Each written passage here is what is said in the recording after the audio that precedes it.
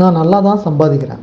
டீசெண்டான சேலரி நல்ல சம்பளம். இருந்தாலும் கையில் பணம் தங்க மாட்டேங்குது. வர்ற அமௌண்ட்டெல்லாம் எங்கே போகுதுன்னே தெரில எப்படி பணத்தை சேவ் பண்ணுறதுனே தெரில அப்படின்னு நீங்கள் நினச்சிட்டு இருக்கீங்கன்னா கண்டிப்பாக இந்த வீடியோ உங்களுக்கு யூஸ்ஃபுல்லாக இருக்கும். ஒரு ஃபேமஸான ட்வீட் இருக்குது tell your money where to go else you will wonder where it went அப்படின்னு. அதே சமயத்தில் இதே கோட்டை ஒரு பாசிட்டிவ் ஆங்கிளில் சொல்லக்கூடிய ட்வீட்டும் இருக்குது மணி சேவ்ஸ் டு மேன் பணம் மனிதனிடம் சொல்கின்றது.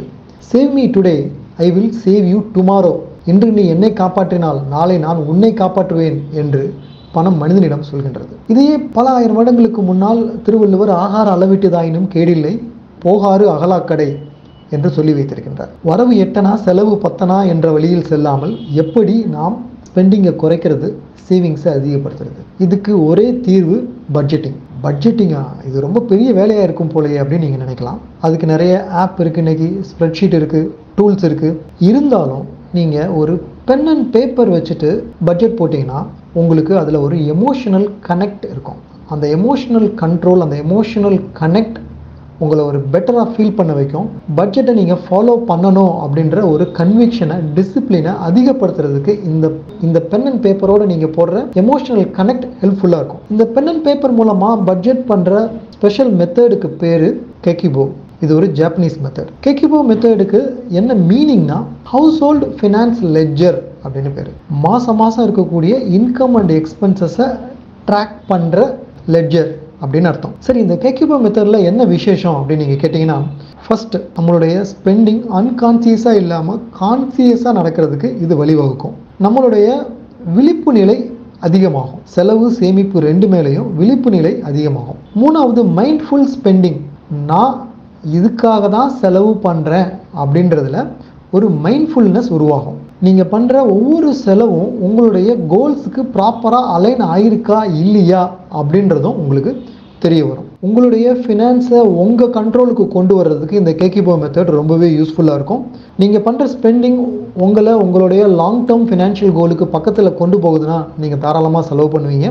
ஒருவேளை நீங்கள் பண்ணுற ஸ்பெண்டிங் உங்களோட லாங் டேர்ம் ஃபினான்ஷியல் கோல்லேருந்து தூரப்படுத்துது அப்படின்னா அந்த ஸ்பெண்டிங்கை நீங்களே அவாய்ட் பண்ண ஆரம்பிப்பீங்க. இந்த கேக்கிபோ மெத்தட் ஒரு ஃபினான்ஷியல் செக்யூரிட்டியை உங்களுக்கு கொண்டு வரும். ஃபினான்ஷியல் ஃபியூச்சரை பற்றி உங்களுக்கு ஒரு கான்ஃபிடென்ஸை உங்களுக்குள்ளேயே கிரியேட் பண்ணும். சரி இந்த கெக்கிபோ மெத்தடை பற்றி இவ்வளவு பில்டப் கொடுக்குறீங்க. அந்த கெக்கிபோ மெத்தட் எப்படி தான் ஒர்க் ஆகும்? அது எப்படி தான் பண்ணணும் அப்படின்றத கேட்குறீங்களா வாங்க நான் உங்களுக்கு ஒன் பை ஒன் சொல்கிறேன் ஃபஸ்ட்டு இது எப்படி ஒர்க் ஆகுதுன்னா பிகினிங் ஆஃப் தி மந்த்லேயே ஒரு பட்ஜெட் பிளான் பண்ணிக்கணும். நம்மளுடைய ப்ரொஜெக்டட் ஏர்னிங்ஸ் என்ன? என்னென்னலாம் இன்கம் இருக்குது அதே மாதிரி ப்ரொஜெக்டட் ஸ்பெண்டிங் ப்ரொஜெக்டட் சேவிங்ஸ் என்ன? இதையும் நம்ம கிரியேட் பண்ணிக்கணும். இந்த கெக்கிபா மெத்தடில் நாலு இம்பார்ட்டன்ட் கொஸ்டின்ஸ் இருக்குது இதுதான் ரொம்ப ரொம்ப முக்கியமான விஷயம் இந்த கெக்கிபோ மெத்தடில் ஃபர்ஸ்ட் கொஸ்டின் நாம் இந்த மாதம் எவ்வளவு ஸ்பெண்ட் பண்ணணும்? செகண்ட் கொஸ்டின் இந்த மாதம் எவ்வளவு சேவ் பண்ணணும்? மூணாவது கொஸ்டின் இந்த மாதம் எவ்வளவு ஸ்பெண்ட் பண்ணிகிட்ருக்கோம் ஆக்சுவல் ஸ்பெண்டிங் என்ன? நாலாவது கொஸ்டின் எப்படி நம்மளுடைய அடுத்த மாத சேவிங்ஸை அதிகப்படுத்துறது? அடுத்த மாத ஸ்பெண்டிங்கை கண்ட்ரோல் பண்ணுறது இந்த நாலு கொஸ்டின் தான் இந்த கெக்கிபோ மெத்தடோட முக்கியமான கீ ஃபங்க்ஷனாலிட்டியை கொண்டு வருது. இதில் இந்த ஃபோர்த் கொஸ்டின் இருக்கு இல்லைங்களா? எப்படி அதிகமாக சேவ் பண்ணுறது அடுத்த மாதம் எப்படி நம்மளுடைய ஸ்பெண்டிங்கை குறைக்கிறது அடுத்த மாதம் இது உங்களுடைய ஓன் ஜட்ஜ்மெண்ட் உங்களுடைய இன்ட்ராஸ்பெக்ஷனை பொறுத்து அமையும். இப்போது இந்த கெக்கிபோ மெத்தடை எப்படி பண்ணுறது அப்படின்றத ஸ்டெப் பை ஸ்டெப் நம்ம பார்க்கலாம். First step list down all your income உங்களுக்கு என்னென்ன வழிகள் எல்லாம் இன்கம் வருது? Salary rental income investment income இந்த மாதிரி இந்த மாதம் என்னென்ன இன்கம்லாம் உங்களுக்கு வர இருக்குது அதை லிஸ்ட் பண்ணிக்கோங்க. இதுதான் first step second step fix your savings goal first ஸ்டெப்பில் இன்கம் என்ன அப்படின்றத நீங்கள் கொண்டு வந்திருக்கீங்க. அந்த இன்கமில் எவ்வளவு பர்சன்டேஜ் நான் சேவ் பண்ண போகிறேன் அல்லது எவ்வளவு அமௌண்ட் சேவ் பண்ண போகிறேன் அப்படின்றத நீங்கள் டிசைட் பண்ணிக்கணும். இது ரியலிஸ்டிக்காக இருக்கணும். என்னுடைய இன்கமில் நான் எயிட்டி பர்சன்டேஜ் சேவ் பண்ண போகிறேன் அப்படின்றது கொஞ்சம் அன்ரியலிஸ்டிக்காக இருக்கும். நைன்ட்டி பர்சன்ட் சேவ் பண்ண போகிறேன்றது ரொம்ப அன்ரியலிஸ்டிக்காக இருக்கும். ஸோ எவ்வளவு சேவ் பண்ண முடியும் அப்படின்னா minimum twenty percentage maximum fifty percentage வரைக்கும் சேவ் பண்ணுறதுக்கு நிறைய ஸ்கோப் இருக்கும். என்ன ஒரு சிக்கல் இருந்தாலும் நீங்கள் உங்களுடைய இஎம்ஐ எல்லாமே போனதுக்கப்புறமா ஒரு twenty percent of the overall இன்கமில் நீங்கள் சேவ் பண்ணுறதா இருக்கணும். அப்போ தான் ஒரு ஹெல்த்தியான பட்ஜெட்டை நீங்கள் கிரியேட் பண்ண முடியும்.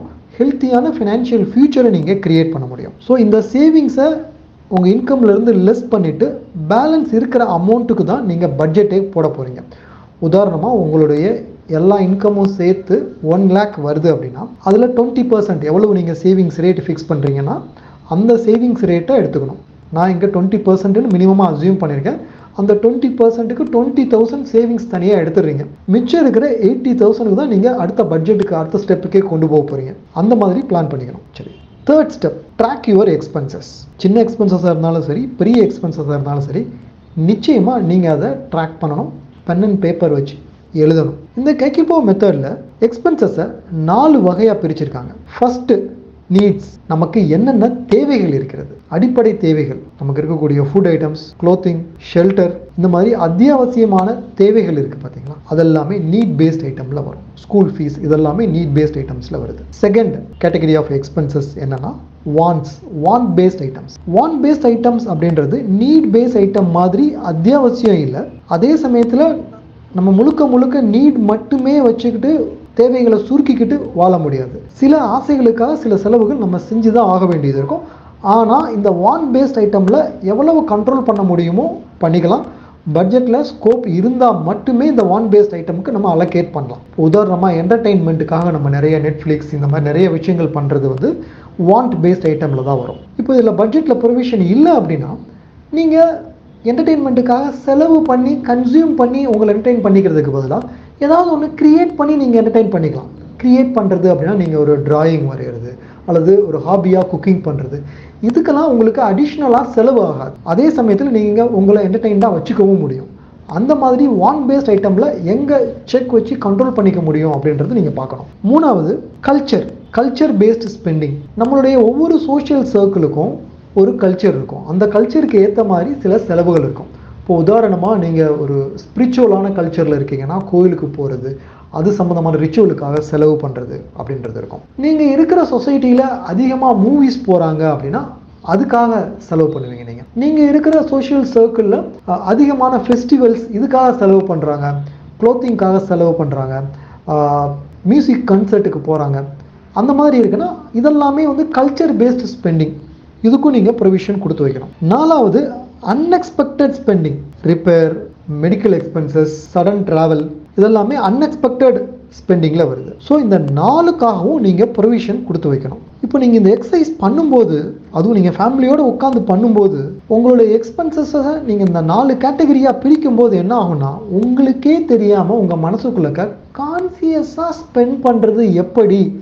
அப்படின்றது உங்களுக்கு தெரிய ஆரம்பிக்கும். உதாரணமாக ஒரு செலவு பண்ணுறோம் ஜஸ்ட் லைக் தட் நம்ம செலவு பண்ணாமல் இது நம்ம எந்த கேட்டகரியில் நம்ம அக்கௌண்ட் பண்ண போகிறோன்றதை பார்க்கும்போது இது நம்மளோட நீட் பேஸ்ட் ஐட்டம் இதுக்கு நம்ம செலவு பண்ணுறது தப்பு இல்லை அப்படின்றது நமக்கே தோணும். ஒரு கில்ட் இல்லாமல் செலவு பண்ண முடியும். அதே சமயத்தில் இன்னொரு செலவு பண்ணும்போது இது வாண்ட் பேஸ்ட் ஐட்டமாக இருக்குது எதுக்கு நம்ம இவ்வளோ செலவு பண்ணணும்? மேபி இதை நம்ம அடுத்த மாதத்துக்கு தள்ளி போடலாமே அப்படின்ற எண்ணம் வர ஆரம்பிக்கும். உங்களுக்கே தெரியாமல் கான்சியஸ் ஸ்பெண்டிங் வர ஆரம்பிக்கும்.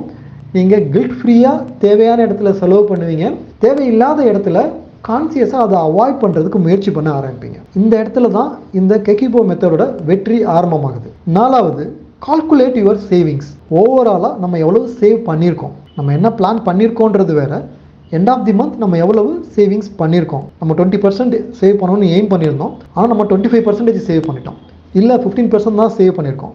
இந்த கால்குலேஷன் நம்ம பண்ணி பார்க்கணும். அடுத்த அஞ்சாவது ஸ்டெப் ரெஃப்ளெக்ட் அண்ட் ரிவ்யூ நம்ம எவ்வளோ சேவ் பண்ணியிருக்கோம் அது நம்மளோட சேவிங் கோலோட மேட்ச் ஆகுதா இல்லையா? ஒருவேளை நம்ம குறைவாக சேவ் பண்ணியிருந்தோம் அப்படின்னா ஒரு கேப் அனாலிசிஸ் பண்ணி பார்க்கணும். நம்ம எதிர்பார்த்தது இருபது பர்சன்ட்டு ஆனால் சேவ் பண்ணியிருக்கிறது பத்து பர்சன்ட் தான்.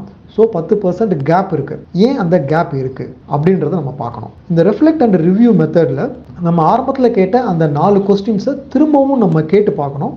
அப்போ தான் அடுத்த மாதத்துக்கு நம்மளால் ப்ராப்பராக பட்ஜெட் பண்ண முடியும். எஸ்பெஷலி அந்த ஃபோர்த் கொஸ்டின் எப்படி அது அடுத்த மாதம் அதிகமாக சேவ் பண்ணுறது அடுத்த மாதம் எப்படி நம்மளோட ஸ்பெண்டிங்கை குறைக்கிறது இதுக்கான ஆன்சர் நம்ம கண்டுபிடிக்கணும். முதல்ல நமக்கு எக்ஸ்பீரியன்ஸ் இல்லாமல் இருந்தது. முத மாதம் நம்ம பண்ணும்போது நாலு கேட்டகரியாக பிரித்து மைண்ட்ஃபுல் ஸ்பெண்டிங் பண்ண ஆரம்பிச்சிட்டோம். இப்போ அந்த ஃபோர்த் கொஸ்டினுக்கு பெட்டராக நம்மளால் ஆன்சர் பண்ண முடியும்.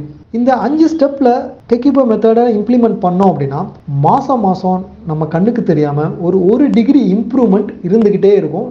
நம்மளுடைய சேவிங்ஸ் அண்ட் ஸ்பெண்டிங்கில் இந்த ஒரு டிகிரி இம்ப்ரூவ்மெண்ட் லாங் டேர்மில் நம்மளை ஒரு பெட்டர் ஃபினான்ஷியல் டெஸ்டினேஷனுக்கு கொண்டு போகும். எவ்ரி மந்த் ஸ்பெண்டிங் கண்ட்ரோல் ஆகிறத பார்ப்பீங்க சேவிங்ஸ் இம்ப்ரூவ் ஆகிறத பார்ப்பீங்க. எஸ்பெஷலி இம்பல்சிவ் பையிங் நடக்காமல் இருக்கிறத நீங்களே ஃபீல் பண்ணுவீங்க.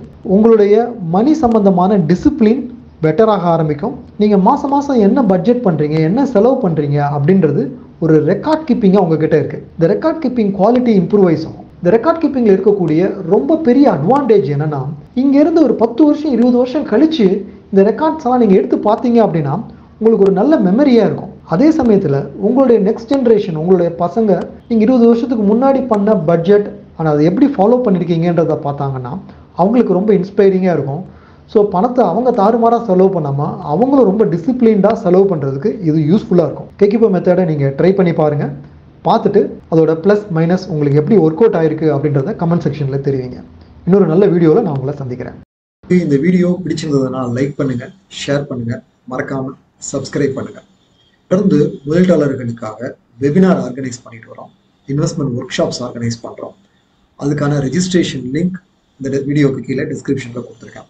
இந்த வெபினார் முழுக்க முழுக்க காம்ப்ளிமெண்ட்ரி எந்தவித ஃபீஸும் கிடையாது. நிறைய இன்வெஸ்ட்மெண்ட் எக்ஸ்பர்ட்ஸ் வராங்க நீங்க கலந்துக்குங்க கலந்துக்கிட்டு பயனடைங்க. தொடர்பா உங்களுக்கு ஏதாவது கேள்விகள் இருக்கா? அல்லது உங்களுக்கு பர்சனல் ஃபைனான்ஸ் சம்மந்தமா இன்வெஸ்ட்மெண்ட் சம்மந்தமா ஏதாவது கேள்விகள் இருக்கா?